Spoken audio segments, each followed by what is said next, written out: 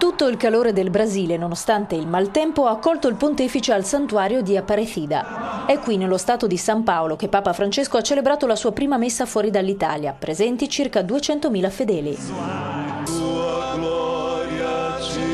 Un evento presidiato non solo dai credenti, ma anche da militari e forze dell'ordine, 5.000 in tutto, misure di sicurezza elevate dopo il ritrovamento domenica di un ordigno artigianale in un parcheggio del santuario.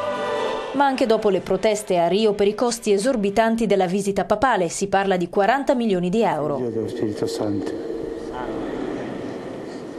Irmãos, irmãs, o Deus da esperança. Papa Francesco è arrivato in Brasile il 22 luglio in occasione della Giornata Mondiale della Gioventù, un evento che si celebra ogni due anni. Nel paese dove i cattolici sono 120 milioni si attendono circa un milione di fedeli da 170 paesi diversi.